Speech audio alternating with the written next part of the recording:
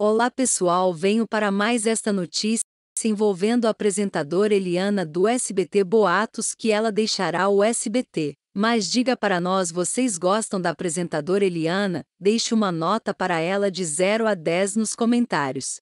Peço que se inscreva no canal e deixe o like no vídeo e ative o sino de notificação. Vamos para a notícia. Gente, um grande boato tomou conta das redes sociais nesta semana.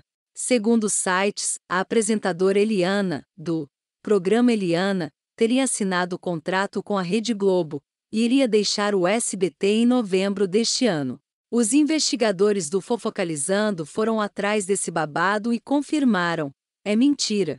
Em nota, a assessoria de imprensa da cantora destacou que a loira permanece na emissora. Mais uma vez, informamos de maneira contundente que Eliana não recebeu qualquer convite ou teve contato com outra emissora. Eliana segue vice-líder aos domingos à frente do programa Eliana no SBT, afirmou o comunicado.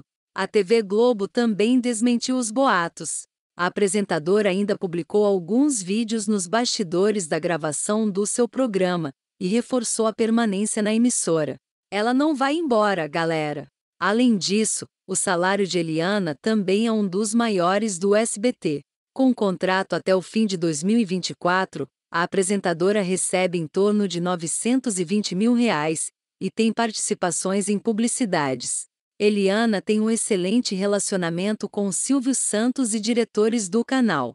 A apresentadora sabe que, caso queira deixar a emissora do dono do baú, perderá parte da autonomia conquistada.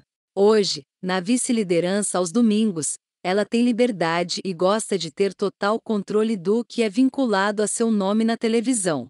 É gente está e tudo indica que a apresentadora Eliana não sairá do SBT.